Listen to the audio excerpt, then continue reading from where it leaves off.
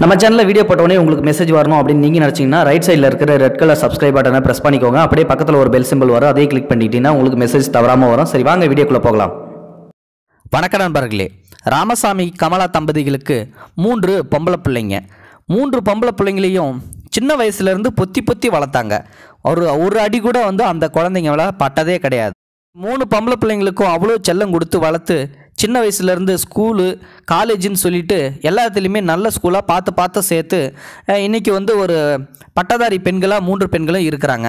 அந்த பெண்களுக்கு திருமணம் செய்யணும்னு சொல்லிட்டு இவங்க ரெண்டு பேரும் முடிவு செய்கிறாங்க அதுக்காக மாப்பிள்ளைங்களை தேட ஆரம்பிக்கிறாங்க.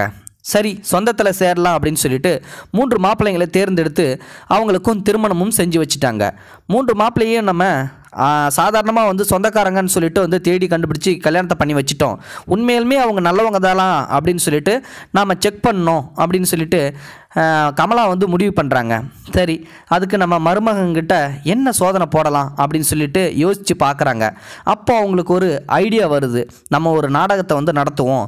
அந்த நாடகத்தில் எல்லாருமே வந்து பாஸ் ஆகுறாங்களா இல்லையான்னு சொல்லி செக் பண்ணுவோம் அப்படின்னு சொல்லிட்டு நான் கமலா வந்து முடிவு பண்ணுறாங்க அதுக்காக ஒரு நாடகத்தை நடத்துறதுக்காக ஒரு ஏரியில் வந்து படகு சவாரி செய்யறதுக்காக தாம் பொண்ணோட மர்மவனோட இந்த மாமியார் மூணு பேரும் போட்டில் வந்து போயிட்டுருக்காங்க படகு சவாரி செய்யிட்டு இருக்கும்போது வந்து பார்த்திங்கன்னா திட்டமிட்டபடி நடு ஏறி வந்துடுது. வந்த அடுத்த நிமிஷமே வந்து பார்த்திங்கன்னா சும்மா தடுமாறி அவங்கள விழுவுற மாதிரி மாமியார் காரி என்ன பண்ணிருக்காங்க? கமலா வந்து அவங்களாவே சும்மா ஏஞ்சி நிற்கிற மாதிரி செல்ஃபி எடுக்கிற மாதிரி எடுத்துட்டு பொத்தடிர்னு அந்த ஏரியில் விழுந்திருக்காங்க. இப்போது அடுத்த நிமிஷம் என்ன கத்த ஆரம்பிக்கிறாங்க? என்னை காப்பாற்றுங்க என்னை காப்பாற்றுங்க அப்படின்னு சொல்லிட்டு. உடனே முதல் மருமகன் என்ன பண்ணுறான் அப்படின்னா அதாவது வந்து மூத்த மருமகன். அவன் வந்து உடனே அந்த இந்த ஏரியில் வந்து குதித்து மாமியாரை வந்து காப்பாற்றி விட்டுறான். காப்பாற்றுறதுக்கு அப்புறம் வந்து பார்த்திங்கன்னா அந்த மாமியாரை கரை சேர்த்து கொண்டு போயிட்டு நல்லபடியாக வந்து உயிர் பழக்கவே வச்சிடுறான். உடனே வந்து பார்த்திங்கன்னா மாமியாருக்கு ஓஹோ நம்ம மூத்த ம மருமகன் நல்ல மருமகன் போல் அப்படின்னு சொல்லிட்டு அந்த மருமகனுக்கு ஒரு இன்ப அதிர்ச்சி கொடுக்கறதுக்காக அவங்க காத்திருந்தாங்க. அந்த மருமகன் நைட்டு போய் தூங்கிட்டு அடுத்த நாள் காலையில் விடிஞ்சு எழுந்திரிச்சு வராரு. வந்த அடுத்த நிமிஷமே வந்து பார்த்தீங்கன்னா வீட்டு வாசலில் ஒரு கார் நிற்கிது யார் அது? இது கார் நிற்கிது அப்படின்னு சொல்லிட்டு அந்த மருமகன் கிட்ட போய் நிற்கிறாரு உடனே வந்து பார்த்தீங்கன்னா அது டிசைர் காரு. அந்த டிசைர் காரை வந்து போய் பக்கத்தில் பார்த்த உடனே இதில் மாமியாரோட அன்பு பரிசு மூத்த மருமகனுக்கு ம மருமகனுக்கு அப்படின்னு சொல்லிட்டு எழுதி இருந்தது. ஓஹோ நம்மளுக்கு தான் அந்த காரா? ஐ சர்ப்ரைஸ் அப்படின்னு சொல்லிட்டு அந்த காரை எடுத்து ஓட்ட ஆரம்பிக்கிறார். தன் பொண்டாட்டியோட அவர் சந்தோஷமாக வாழவும் ஆரம்பிக்கிறாரு. சரி அடுத்து ரெண்டாவது மருமகன். அவனையும் இதே மாதிரியே செக் பண்ணிவிட்டு அடுத்த மருமகனுக்கு என்ன பரிசு கொடுக்கலாம் அப்படின்னு சொல்லிட்டு யோசிக்கிறாங்க கமலா.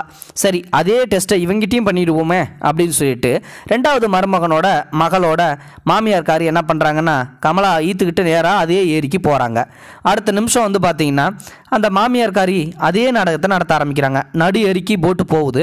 போன அடுத்த நிமிஷமே மாமியார்காரி என்ன பண்ணுறாங்க செல்ஃபி எடுக்கிற மாதிரி இருந்துருச்சு. திரும்பவும் வந்து பார்த்திங்கன்னா அவங்க விழுந்துற மாதிரி வந்து நடிக்க ஆரம்பிச்சிடுறாங்க. உடனே அவங்க அலற சத்தம் கேட்ட அடுத்த நிமிஷமே ரெண்டாவது மருமகன் என்ன பண்ணிடுறான்? முதல் மருமகன் காப்பாற்றுற மாதிரியே ரெண்டாவது மருமகனும் பொத்தடின்னு போய் அதில் விழுந்து மாமியார்காரியை தூக்கி கொண்டு போயிட்டு படகுல போட்டு அதை ஓட்டி கொண்டு போய் கரையில் சேர்த்து நல்ல வேலை காப்பாற்றிட்டீங்க மாப்பிள்ள அப்படின்னு சொல்லிட்டு மனசுக்குள்ளே எண்ணி இந்த மருமகனும் நல்ல மருமகன் தான் அப்படின்னு சொல்லிட்டு உடனே அவங்க முடிவே பண்ணிடுறாங்க. சரி ரெண்டாவது மருமகனுக்கும் அதே பரிசையே வாங்கி கொடுத்துருவோமே அப்படின்னு சொல்லிட்டு ரெண்டாவது மருமகனையும் வந்து பார்த்திங்கன்னா சர்ப்ரைஸ்க்காக அன்னைக்கு நைட்டு எதுவுமே சொல்லாமல் அடுத்த நிமிஷம் வந்து பார்த்திங்கன்னா அந்த மாமியார் கறி தூங்க போயிட்டாங்க. ரெண்டாவது மருமகனும் தூங்க போயிட்டாப்புல அடுத்த நாள் காலையில் விடிஞ்சு எழுந்திரிச்சு வந்து காரில் பார்க்கவும் அதே அதே மாதிரி டிசைர் கார் வந்து நிற்கிது அடுத்த நிமிஷம் வந்து பார்த்திங்கன்னா அந்த காருக்கு பக்கத்தில் போய் நிற்கிறாரு அந்த மருமகன். அந்த நேரம் வந்து பார்த்திங்கன்னா இது ரெண்டாவது மருமகனுக்கு மாமியாரின் அன்பு பரிசுன்னு எழுதியிருக்குது. ஓஹோ இது நமக்காட்டுக்கே அப்படின்னு சொல்லிட்டு உடனே அந்த காரை எடுத்து ஓட்ட ஆரம்பிக்கிறாரு. அவருக்கு ரொம்ப புன்னகையாயிடுச்சு. அப்படியே மூணாவது மருமகனையும் நம்ம சோதிச்சிடலாம் அப்படின்னு சொல்லிட்டு அதுக்கப்புறமா மூணாவது மருமகனையும் வந்து சோதிக்கிறதுக்காக மகளையும் மருமகனையும் அழிச்சிக்கிட்டு அதே ஏரிக்கு போகிறாங்க அடுத்த தடவை வந்து பார்த்திங்கன்னா இந்த தடவை என்ன நடக்குது அப்படின்றதா இங்கே ஒரு பெரிய ட்விஸ்டே வச்சுருக்காங்க. மூணாவது மருமகனோட நடு இடத்துல போய் போட்டில் விழுகிறப்போ அந்த மாமியார்காரி இருங்க மாப்பிள்ள நான் செல்ஃபி எடுக்கிறேன் அப்படின்னு சொல்லிட்டு வேணும்னே நிற்க போய் செல்ஃபி எடுத்து வேணும்னே கீழே விழுந்துடுறாங்க. அடுத்த நிமிஷம் வந்து பார்த்திங்கன்னா உடனே மாமியார் தத்தளிக்கிறது பார்த்தும் பார்க்காத மாதிரி இந்த மருமகன் கண்டுக்காமல் அப்படியே நிற்கிறாரு ஆனால் வந்து பார்த்திங்கன்னா என்னடா அது? இவர் வந்து காப்பாற்றாமல் நிற்கிறாரு அப்படின்னு சொல்லிட்டு மாமியார் வந்து கெஞ்ச ஆரம்பிச்சிடுறாங்க. மாப்பிள மாப்பிள என்னை கண்டு காணாத மாதிரி இருக்காதீங்க மாப்பிள என்னை காப்பாற்றுங்க மாப்பிள அப்படின்னு சொல்லிட்டு அவரும் பார்த்தும் பார்க்காத மாதிரியே மறுபடியும் இருக்கிறாரு. மாப்பிள காப்பாற்றுங்க மாப்பிள அப்படின்னு சொல்லிட்டு ஒரு இன்னோவார் கார் நான் வாங்கி தரேன் அப்படின்னு சொல்லி கெஞ்சுறாங்க மாமியார். காரும் வேண்டாம் ஒரு மண்ணும் வேண்டாம். பொண்ணை வளர்க்க சொன்னால் பேயை வளர்த்துருக்கியே செத்து தொலை அப்படின்னு சொல்லிட்டு திரும்பி பார்க்காம வீட்டுக்கு வந்துட்டார் மூணாவது மருமகன். உடனே என்னடா பண்ணுறது அடுத்த நிமிஷமே வந்து அவங்க உயிரும் வந்து போயிடுது. மா மாமியாரோட உயிர் போனதை அடுத்த நிமிஷம் வந்து பார்த்திங்கன்னா நல்ல காரியம் எல்லாமே சடங்கு எல்லாமே போய் முடிஞ்சிடுது. அதுக்கு அடுத்த நாள் வந்து பார்த்திங்கன்னா மூணாவது மரபவன் படிக்கையை விட்டு வெளியில் வந்து பார்த்தா அவருக்கு ஒரு பிஎம்டபிள்யூ காரே வந்து காத்திருக்குது. மிகப்பெரிய அதிர்ச்சியாக இருக்குது. என்னடா அது பிஎம்டபிள்யூ காரு நம்ம வீட்டு வாசலில் நிற்கிது அப்படின்னு சொல்லிட்டு அந்த காரை போய் பார்த்தா அதில் என்ன எழுதியிருக்குது அப்படின்னா மாமனாரோட அன்பு பரிசு மூன்றாவது மருமகனுக்குன்னு சொல்லி எழுதியிருக்குது. இதை பார்த்த அடுத்த நிமிஷமே மூன்று மருமகனுக்கு யோசிக்கிறாப்புல நம்ம பொண்டாட்டி தான் நமக்கு தொல்லை கொடுக்குறான்னு சொல்லி பார்த்தா நம்ம மாமியாரும் நம்ம மாமனாரை போட்டு படாத பாடு படுத்திருப்பாங்க போல அதனால தான் செத்து ஒலியிட்டுன்னு காரே வாங்கி கொடுத்துருக்காரு அப்படின்னு சொல்லி சொல்கிறாரு இப்போ புரியுதுங்களா? எல்லா வீட்லேயும் என்ன நடந்துகிட்டு இருக்குது அப்படின்னு சொல்லிட்டு ஜஸ்ட் ஃபார் ஃபன்னுக்காக தான் இதை வந்து சீரியஸாக எடுத்துக்க வேண்டாம். இந்த வீடியோ பிடிச்சிருந்தா லைக் பண்ணுங்கள் ஷேர் பண்ணுங்கள் மறக்காமல் நம்ம சேனலை சப்ஸ்கிரைப் பண்ணுங்கள் தேங்க்யூ ஃபார் வாட்சிங் இது போன்ற செய்திகளை உடனுக்குடன் நீங்கள் தெரிந்து கொள்ள மறக்காமல் எங்களுடைய சேனலை சப்ஸ்கிரைப் செய்யவும் கூடவே பக்கத்தில் வரும் பெல் ஐக்கானையும் கிளிக்